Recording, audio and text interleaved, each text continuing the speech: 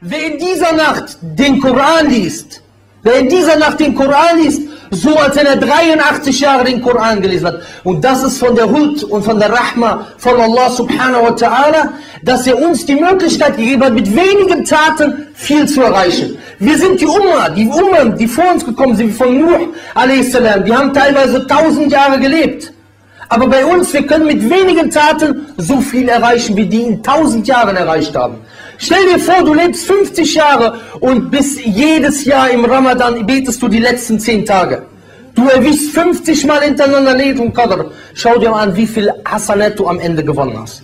Subhanallah, das ist Laylatul Qadr. Und der Prophet a.s.w. sagt über den Ramadan, umumen, allgemein sagt er, Man qama Ramadan imanen wa ihtisaben, غفر له ما تقدم من ذنبه. Wer den Ramadan im Gebet steht, Tarawih, Qiyamul Layl und so weiter, dem wird Allah das vergeben, was er vorher an Sünden getan hat.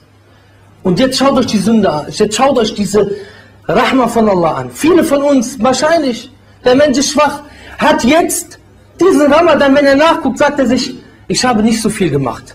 Ich habe nicht jeden Tag Tarawih gebetet. Ich habe, bin nicht jeden Tag im letzten Drittel der Nacht aufgestanden. Und Allah sagt, wer den Ramadan steht, den ganzen Ramadan sozusagen, so hört sich das an.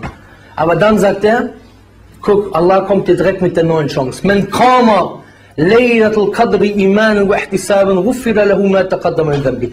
Wer Laylatul Qadr im Gebet steht, dem wird das vergeben, was er vorher an Sünden getan hat.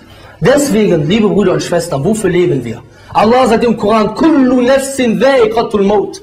Jede Seele wird den Tod kosten. Und jüngsten Tag werdet ihr den Lohn bekommen. Was dann? Jüngster Tag, das ist entscheidend. Und